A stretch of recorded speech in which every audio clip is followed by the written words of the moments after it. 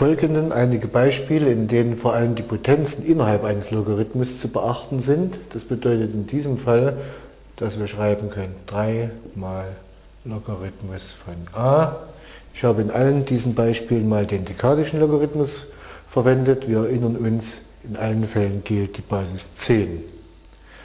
Das heißt also in der zweiten Aufgabe, wir haben wieder einen Quotienten, in dem äh, der Nenner a hoch 3 heißt. Das bedeutet also, wir können schreiben Logarithmus von 1 minus Logarithmus von a hoch 3.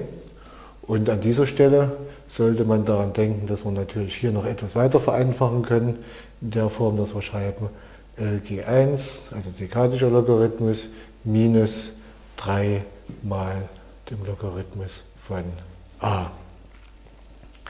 Auch hier eine Kombination aus verschiedenen Rechenoperationen, einmal das Produkt, einmal eine Potenz, bedeutet also auch, wir könnten schreiben 3 mal Logarithmus von a mal b.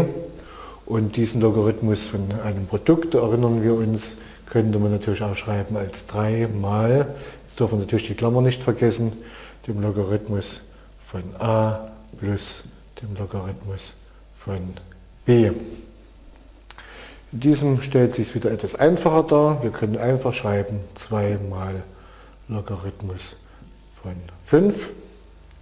Aber in der nächsten Zeile ist es recht schnell formuliert, x mal Logarithmus von 100 und n mal Logarithmus von z. Ich fasse zusammen.